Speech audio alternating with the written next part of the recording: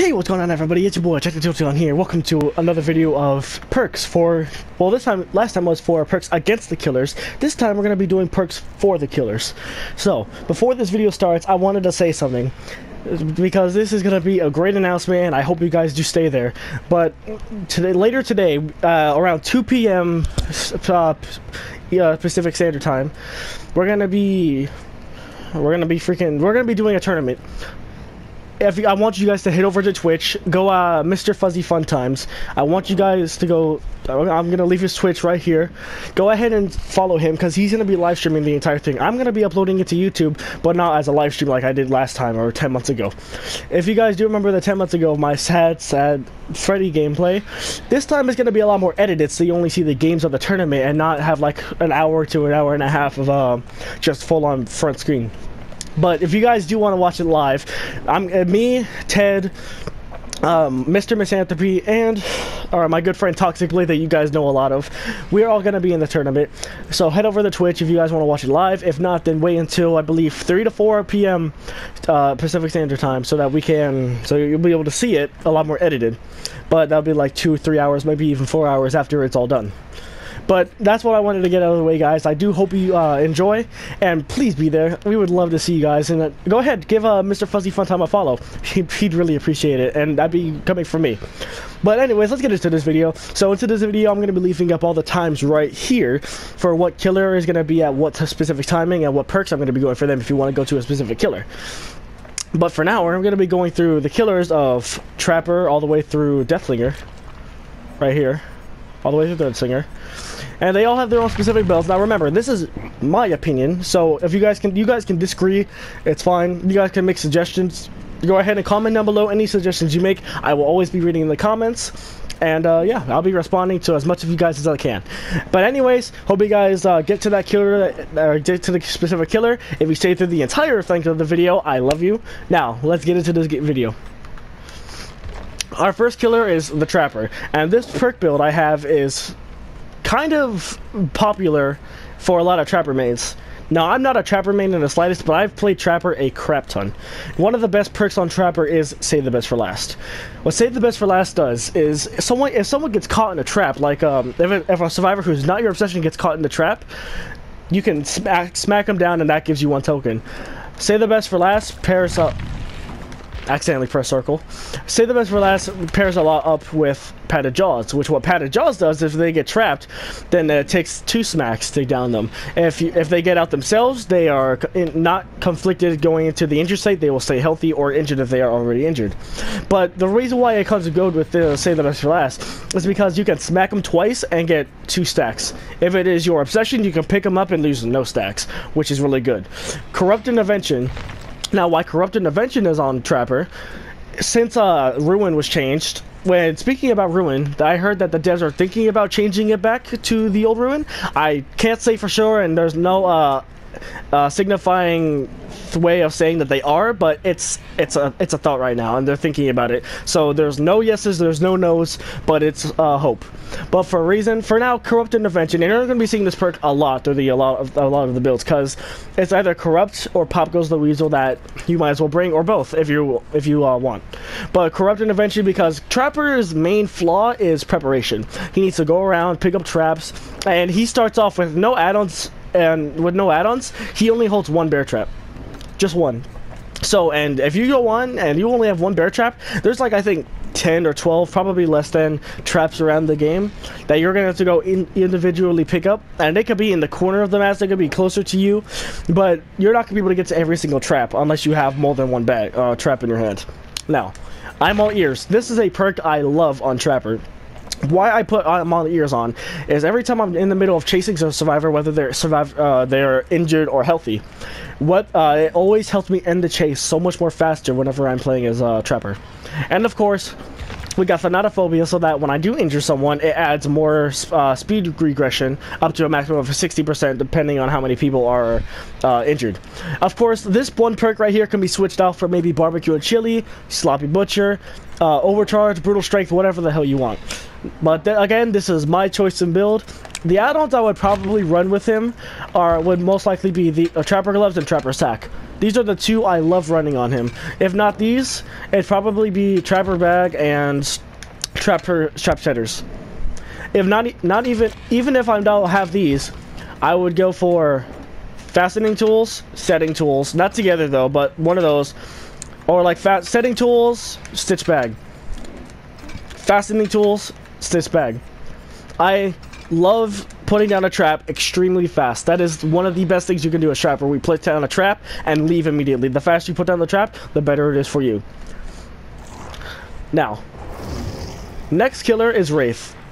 Why I did this, okay, so I put Sloppy Butcher on for Wraith, and why I did that is because Wraith is one of those killers that can get an easy first hit, uh, like an easy surprise attack on a survivor, or like on, a, on an unsuspecting survivor, which is great. So Sloppy Butcher puts them injured. Uh, now pop goes the weasel. If you do hook that, if you do commit to chasing that survivor and you grab them and hook them, then boom, you can uh, go hit down a generator for 25% of its total progression for the next minute, which is great.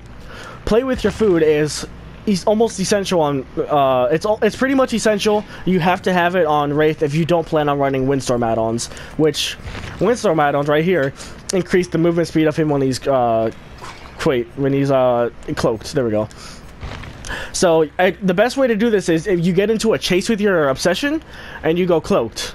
Boom you got one stack. Do that three times and then either go find someone else or chase down your obsession. And now corrupt intervention so that gens don't get popped a lot and uh, or they come survivors come closer to you which is extremely great. And remember this is only a plague perk and you only have to level her up to i think level 40 for this so if you guys don't have Plague level 40 or you haven't bought this yet, then go ahead and do that right now because this perk is going to be very essential for, for now. The next healer is going to be Hillbilly. Now, Infectious Fright and Barbecue and Chili are probably one of the most common perks to bring on Billy. Infectious Fright is if you down someone into the dying state, whether it's with your uh, M1 attack or your chainsaw, it within your terror radius, which Billy has a terror radius of 32, Anybody in that 32 terror radius will scream for six seconds, and you'll or they'll scream and give you your, their location for six seconds. Now that is also a plague perk, and it is extremely good on Billy because it gives you a lot of choices. You can either leave the person on the ground and go chase someone or the two people that are uh, there are however many people in your terrorist that screamed, or you can hook them and see who's farther far enough away. Which these perks together on Billy go so well because if someone's further than 40 meters, you can easily you can either decide to chainsaw over there or not. If so, if you don't see any one out of the, the terror radius, or out of the 40 meters, you can decide to stay around because they're probably trying to get the save. Now, Enduring and Spirit Fury are also two perks that go extremely well together. With uh, Billy, if you get stunned while uh, if you get stunned while revving up your chainsaw, you can pick it back up almost to where you left it off and break that pallet. And for Spirit Fury, if you get smacked twice or if you uh, break two pallets, then it becomes active. The next time you are stunned, the pallet automatically breaks. These are extremely amazing on Billy. The two add-ons I'd probably run on Billy would be Carburetor Tuning Guide and the Thompson's Mix. If not these two, then minus the Thompson Mix and Primer Bulb, or backwards. I love speed add-ons. I love even uh freaking spike boots. I'd run these two as well. The Billy is just has a lot of amazing options, but he has a lot of flaws too. Like uh, I don't know why Doom Engravings. I know Doom Engravings make up its speed and decreases charge time, but half the time it doesn't really matter if you're getting from one place to another as long as you're always mostly when I rev up my chainsaw it's to get someone who is extremely close to me so doom engravings are pretty much worthless then Begrimed chain and rusted chain are pretty much worthless unless you know that you can hit your chainsaws extremely well but that's the build I would have for Billy. If you guys have any uh, ch suggestions, changes, or comments, leave it down below. I'm always reading. Now next is Nurse. Nurse is probably the most uh, the most thought killer to have Nurse's Calling, Thanatophobia, and Sloppy Butcher. We put on Corrupt so that gens don't get done immediately, Sloppy so that if we do find someone, we can smack them, Thanatophobia, Or, and Sloppy Butcher makes them heal slower. Thanatophobia also makes them heal slower, and uh, the more people injured, the slower they go. And then Nurse is calling, so that, and with Nurse only having a 32 meter, anybody who's basically in their terror radius she'll be able to see. So it would be best to probably take off Thanatophobia for, um, what's that perk called? For Monitor and Abuse, there we go and uh, sloppy and uh, sloppy butcher, or you could even take out sloppy butcher, which is fine, no matter what you do. The this surprises a lot of people, but the two add-ons I would run on her nurse would be spasmodic breath and Cat catatonic boy's treasure. Either that or um, the wooden horse. These two add-ons are extremely well, or even the pocket watch. Things that make your blink go extremely farther, or uh, like decrease the fatigue, like what this does and the wooden horse does I, I, love those perks on, uh, I love those add-ons on Nurse. I don't play Nurse as much as I want to, because high ranks, people gen rush and all that, but this is what I would run on Nurse. If you guys have any suggestions, changes, or comments about this, go ahead and comment down below, I will always be reading. Now comes Miss Hag, the one killer that is the most fun to play with, but can also get you screwed up the worst ways. So, a lot of people are kind uh, you may look at this build and be like, okay, Jack, what the hell did you do? Well, Corrupt Intervention, of course, blocks out the three farthest generators for two minutes, which is great, with Hag being slower and our terror radius being uh, only 24 meters. What Monitor and Abuse does, it is extremely great on Hag. Why it's great on Hag is because it minuses her terror radius by 8, leaving her at only 16, I believe. yeah, 16. Sorry. But it only keeps her at 16 meters of terror radius, and that really makes survivors like a, uh, a lot more jumpy when they see her coming at her, surprisingly. The uh, But uh, because it gives her more essential of placing her traps and surprising survivors, which is amazing. And survivors don't expect uh, a trap uh, anywhere close to them since they will not be hearing a uh, large terror radius, which is great. Make Your Choice is absolutely amazing. It pairs well with Pop Goes the Weasel, but what Make Your Choice does, is if you do manage to hook a survivor, the, the what you can do is you can grab is you uh, you can go far away for uh, 32 meters. As soon as you go far, far if someone uh, pops your trap and takes them off the hook, you can immediately uh, go there, down them, and there's an insta down right there because of Make Your Choice being affected for 60 seconds, which exposes the survivor who took off the survivor. So make your choice is amazing on Hag because you can be as far as you want, and with add-ons that increase her distance of trans of uh, teleporting to the trap, it is amazing on Hag. Now, of course, Pop goes the Weasel. Another perk that you can either uh, keep or get rid of because of corrupt intervention, but it is another perk that if you hear a, uh, a generator getting done, quickly hit it after you hook a survivor and go find someone else. It is that easy, but it but it also isn't uh, the hardest. It's not the easiest, but it's also not the hardest. The two add-ons I would run on her would probably be Dried Cicada, Rusty Shackles, or Dried Cicada and Dragonfly Wings.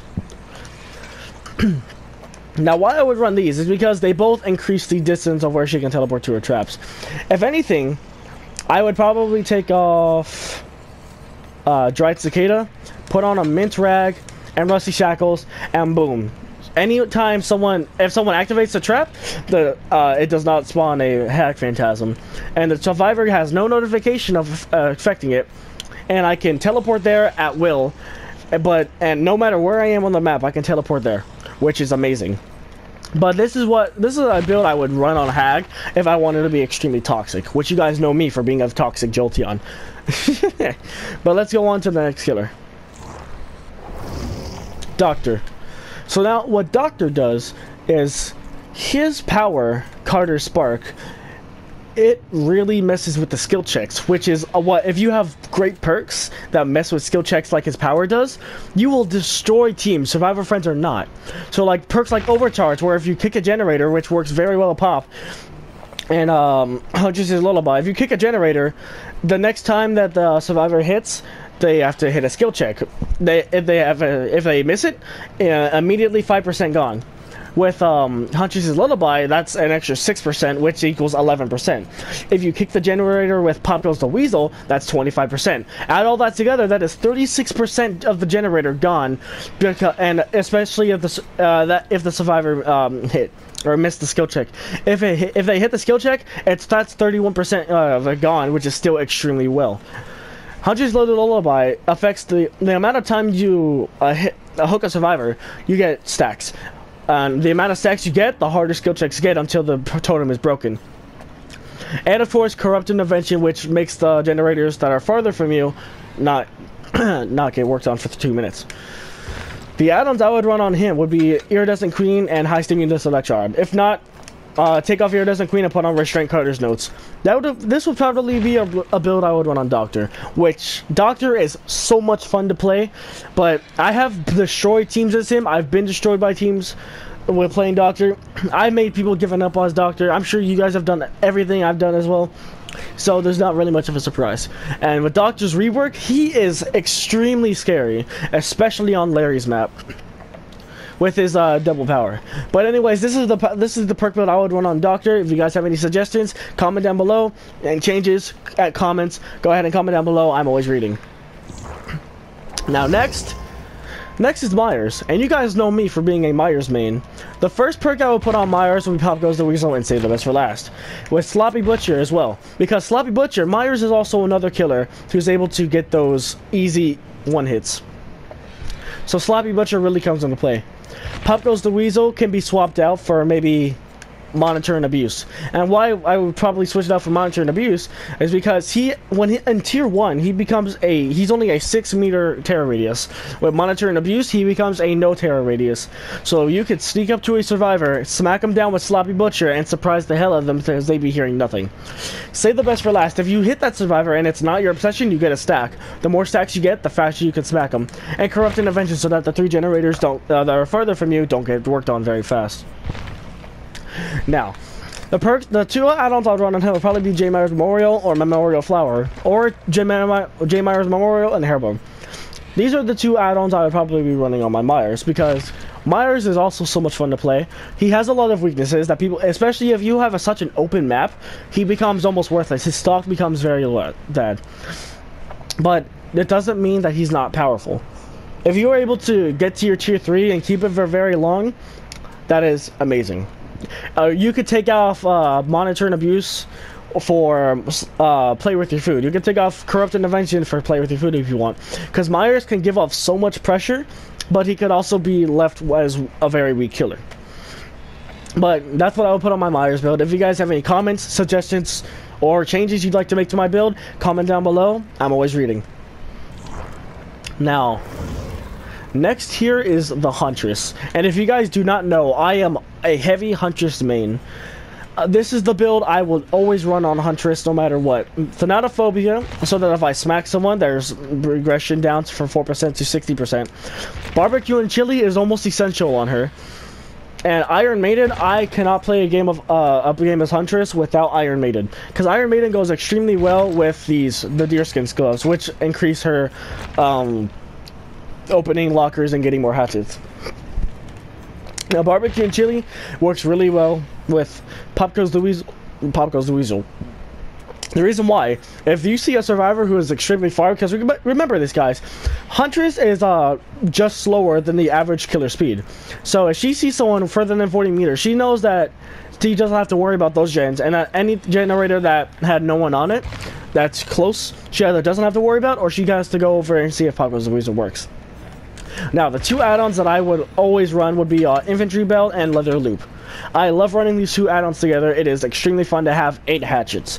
Or I would have Infantry Belt, Deerskin Gloves, Infantry Belt, and uh, Oak Haft. Even freaking Berus Toxin or Bandaged Haft. There's just so many builds you can do. And But the thing that people mostly do is run Iridescent Head with uh, Infantry Belt so that they have three Iridescent, uh, the three hatchets that are insta-down. I, I find this kind of good. I don't. I personally don't like running uh, iridescent head, but that is just me. I just don't like it. but this is the build I would run for my hunters. If you guys have any suggestions, changes, comment, go ahead and comment down below, and I'll see. And I'll. I'm always reading. I'm always watching, reading. Now next is this big boy Leatherface. Leatherface is nowhere near the strongest killer, and um, to make up for that, he has a chainsaw that yeah can hit multiple people, but very rarely you're gonna get more than two downs, or at least more than two downs from uh, with Leatherface. And so to make up for that, we've got Corrupt Intervention and Discordance. The reason why I have these two together is that no matter where they go, if they bring them closer, it shows me which generators are being worked on as a team. With generators being worked on as a team, that gives you more of a chance of getting more than one survivor with your chainsaw. Pop Goes the Weasel works well so that if they are on that generator and you do down someone, you can quickly pop it and go find someone else. And it's Sloppy Butcher so that they do not, or so that they have to heal slower. The add-ons I would probably be running on him would be Carburetor Tuning Guide and the Grease. Or Carburetor Tuning Guide, Primer Bulb, or even this and the Chili. That's really it. Nothing else I would run besides his common add-ons that are the Spark Plug and um, Vegetable Oil. Speed Limiter is just for memes. You get more blood points, yeah, but it's really just a meme. But this is the build I would run on my Bubba. If you guys have any changes, suggestions, or comments, go ahead and comment down below. I'm always reading.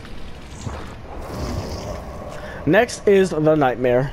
Now, Nightmare can be extremely crazy powerful.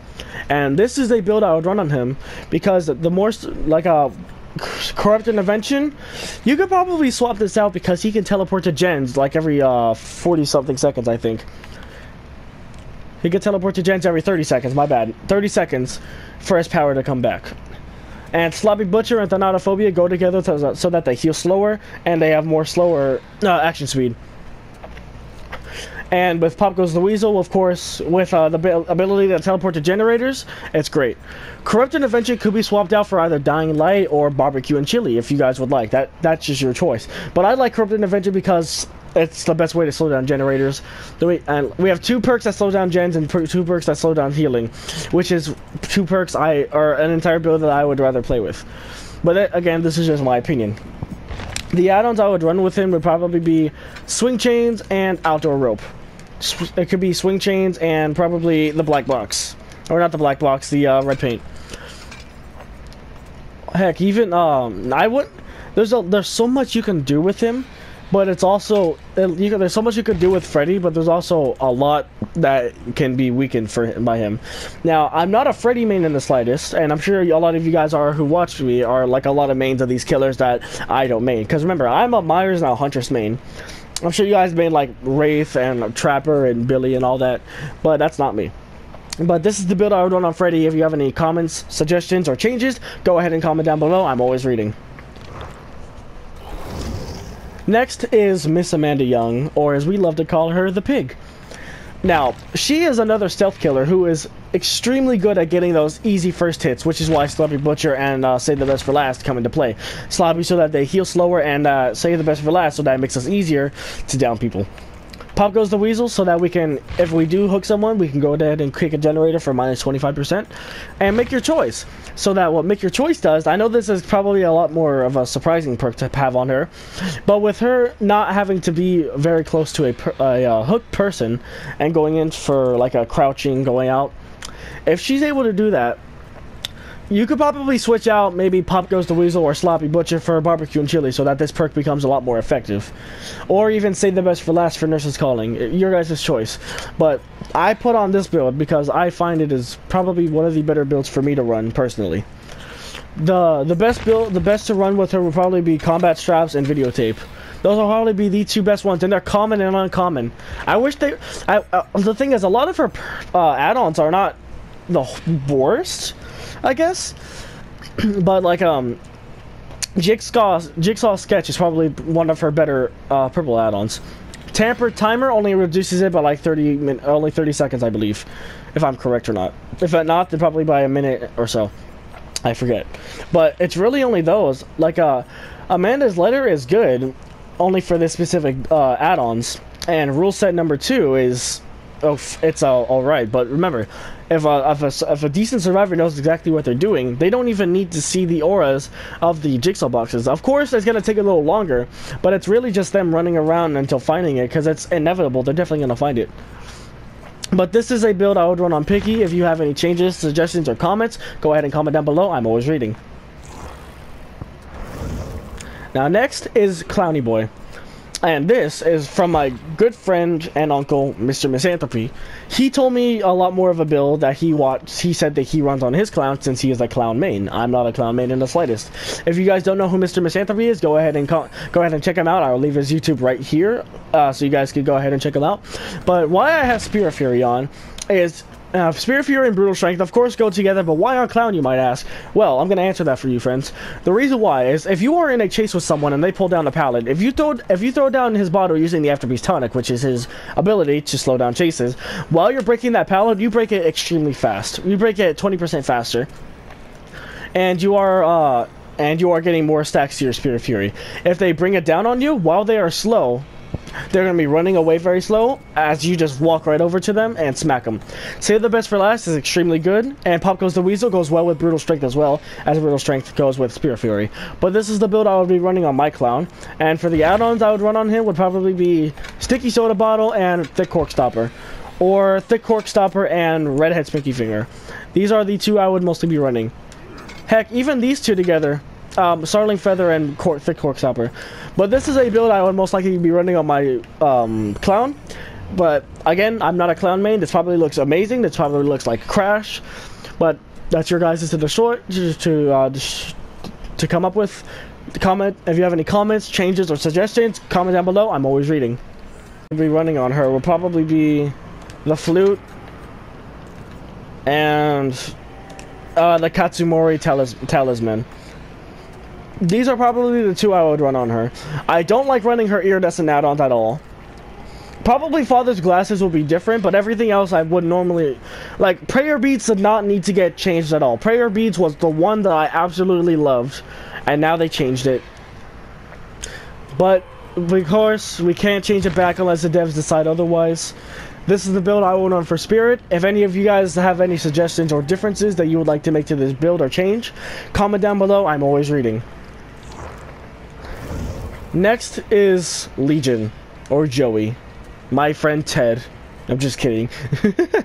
but the reason here's the build I have for him. We got Sloppy for well Sloppy is extremely crazy on uh, Joey or Legion right here, and you could probably take out Whispers or Hex Third Seal for uh, Thanatophobia.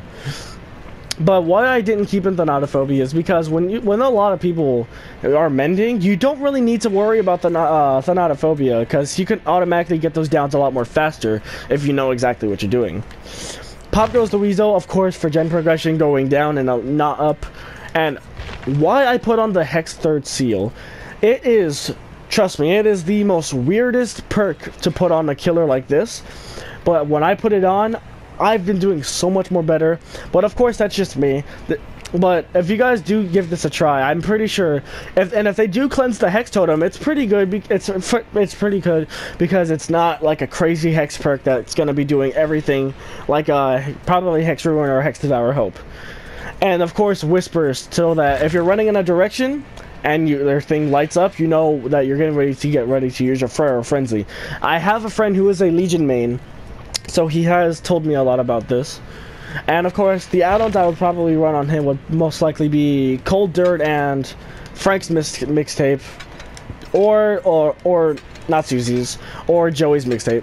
It'd be one of these two add-ons I would run, or even uh freaking, or even the Legion pin or the, the face smiley pin. Like, but this is a build I would probably run on Legion. If anything, I could take off the uh Hex Third Seal and put on Thanatophobia, but this but this is something I would run first beforehand. This is my choice. If you guys have any uh, ideas, suggestions, or changes you want to make to the build, comment down below. I'm always reading. Next is the Plague. She is a very weird killer, not gonna lie. She can be very strong or very, very weak. Depending on the survivor experiences, if they know exactly what they're doing, or your experience with Plague if you know exactly what you're doing. With Dying Light and Thanatophobia, it is insanely overpowered on Plague.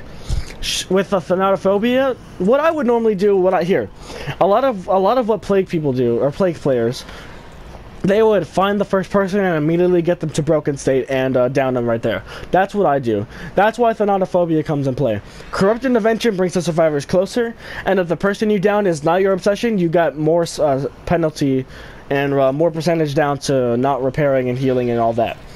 Pop goes the weasel just in case they get a gen- just in case they're on a generator, and with her power, you can vomit on gens, blockers, pallets, windows, whatever, just to make sure that you get it.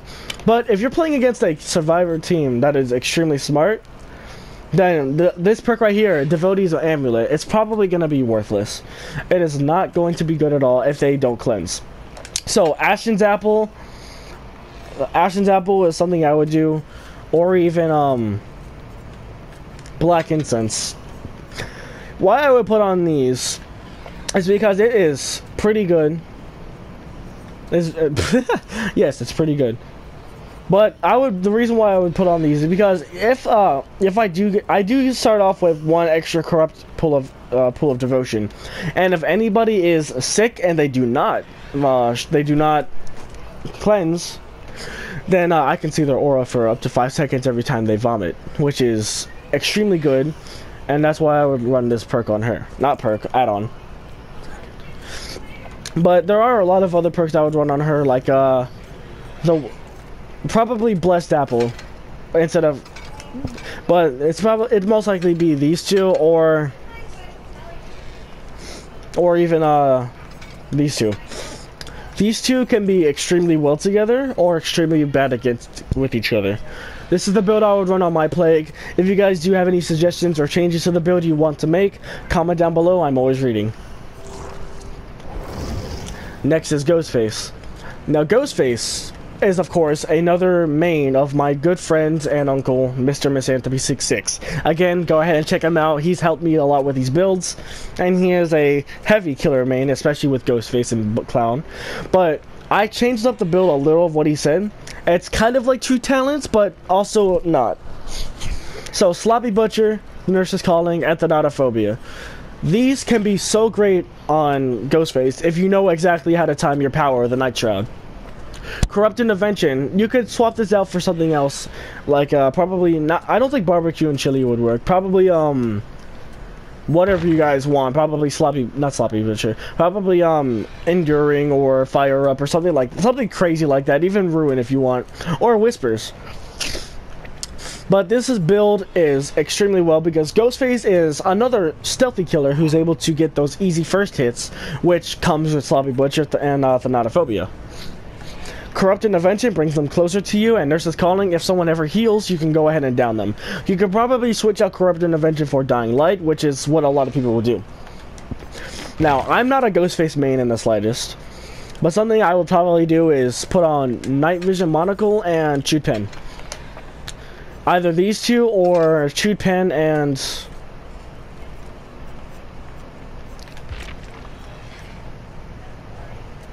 and probably telephoto lens. These two uh, add-ons I would probably run normally on him. His iridescent add-ons are decent. The outdoor security camera, I don't use at all, but I know how good it is. Ghostface caught on tape is extremely horrible. Unless you automatically always are going to try and lean to, get someone, don't even try this add-on. It is not worth your time. But this is the build I would run on my Ghostface thanks to my good friend Mr. Misanthropy 66.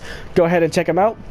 But yeah, if you guys have any comments, suggestions, or changes you want to make to the build, comment down below. I'm always reading. Next is Big Boy Demogorgon, a killer that I used to play a lot and don't play anymore, sadly. With corrupt intervention to bring them all closer, why I put on monitor and abuse. Here's the good thing, even though the survivors can still hear his uh, heavy stomps, like a that really gives them gives them away. With monitor and abuse, they they technically can't tell how close you are unless you're going against extremely good survivors or if they see you at all. So the the cool the thing is. Demogorgon is one of those killers who gives off a lot of information to survivors, so monitor and abuse can really help him end chases fast. With Save the Best for Last, It is extremely good on uh, Demogorgon. If you find your obsession, you could use your power uh, of the Abyss and shred them down, and you're not losing any stacks for shredding them. If you find someone who's not your obsession, smack them twice, and boom, you've got Save the Best for last uh, stacks without losing any. And Pop goes the Weasel with sync with uh, Corrupt Intervention if they do do a generator. Now, I haven't been playing this guy a lot ever since, but the, um, what I would normally be running, um, that and, um, this. These two I would run, because Rat Liver Rat liver is extremely good. When you're holding your uh, the abyss, you're getting ready to charge and uh, shred down someone. His remember his movement speed becomes 92% without this add-on. With this add-on, it adds 9% extra speed, so you're 101, barely faster than a survivor. So you are able to barely catch up to them and choose. You can make a fake go ahead and slap him. If it's your obsession, you can uh, fake it as well, and then get closer and smack him down with the shred. There is so much you could do with this guy, but he gives off so much information to the survivors, which is kind of a downfall on his side. But this is the build I would use for Demogorgon. And if you guys have any suggestions or changes or, or anything you would like to change or add on to this, comment down below. I'm always reading. Next is the Oni. Now, Oni is those killers. I haven't been seeing any Onis ever since the latest uh, chapter. No Oni players have come out of hiding. Everyone's been staying back with Oni. I don't know. I don't know why. But with Oni, I would run Thanatophobia, Sloppy Butcher, and his own perk, Blood Echo. Now, why I would run these? If anybody who's um uh, injured, sorry, anybody who's injured, they will always drop blood orbs. And blood orbs are what make his power go into what it's supposed to be. Very good. So, now with Sloppy Butcher, it takes a lot more longer to put on, or for them to heal on. And Thanatophobia makes them stay regressed if they are if they stay injured. Blood Echo, if you do hook someone while anyone else is exhausted, this perk will give that person the hemorrhage uh, effect until they're healed, and they're exhausted for 45 seconds. And Corrupt Intervention comes into play for bringing them closer to you so that you can smack them earlier. Now, the the add-ons I would normally run on him would be Renjiro's Bloody Glove and probably Wooden Oni's Mask or even um, a splint Splintered Hull. These are what I would be running. Those add-ons are what I would run on him. Or I could even put on this or even that or that these add-ons are extremely well on Oni. Because anything that makes him go faster, he could be probably just as fast as uh, Billy. But he'd also be better because he wouldn't be able to bump into anything. He can just go right around it. Which Billy can't do. But this is the build I would run on my Oni. Hope, uh, if you guys have any suggestions, changes, or anything you'd like to add on, go ahead and comment down below. I'm always reading.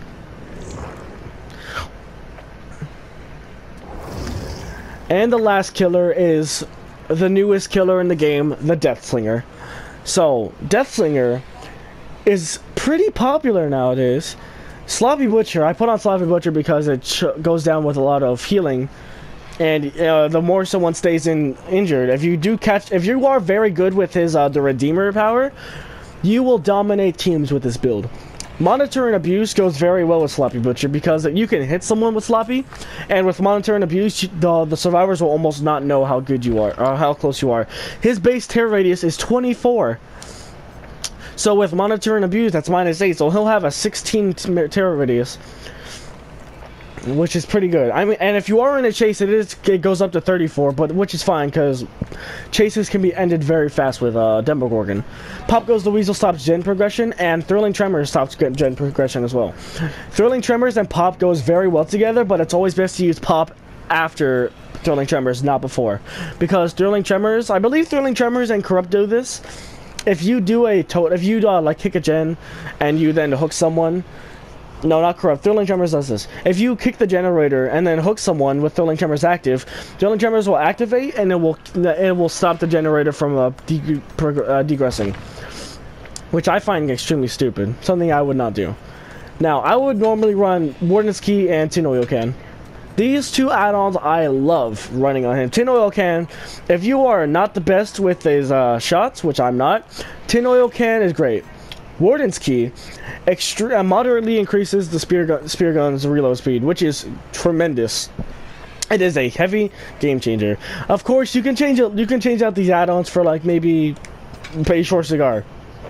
But this can be immediately canceled out if you grab someone and you know they're gonna get off the hook, the uh, spear gun. All you have to do is just lunge at them and boom, you're not getting any stun from the spear at all. Barbed wire increases the survivor's mending time when affected with a deep wound status effect. If they're having to mend, then it's not really gonna matter because you're already already in another chase, or they're running away from you, which is not affecting their uh, deep wound state at all. So these two add-ons can be immediately taken out. Now this is garbage. This is extremely garbage. Unless you unless you want to pair it with monitor and abuse, that's probably the best it can do. But it is horrible. I don't know why it's even here and Prison Chain. It is also it's also pretty good. It could probably be uh, replaced with um, this tin oil can, but that's pretty much it. these are the two add-ons I would run, and and even these these two right here, I would run these if I didn't have these two add-ons. This is okay, I guess. It's not the best, and it's nowhere near the worst. And these two are also very good. Like, all of his common add-ons are a lot more better than his purple add-ons. I don't know why. But these are my suggestions for builds. Again, if you have any comments you want to change, add, or even, like, simplify the builds, go ahead and comment down below. I'm always reading. But that'll do it for this video, guys. If you have enjoyed, hit that like button down below. Subscribe if you're new. Go ahead and check out the other YouTubers I've been commenting and uh, saying about in this video. And that's it for now. Hope you guys have enjoyed, and I'll see you guys in the next video.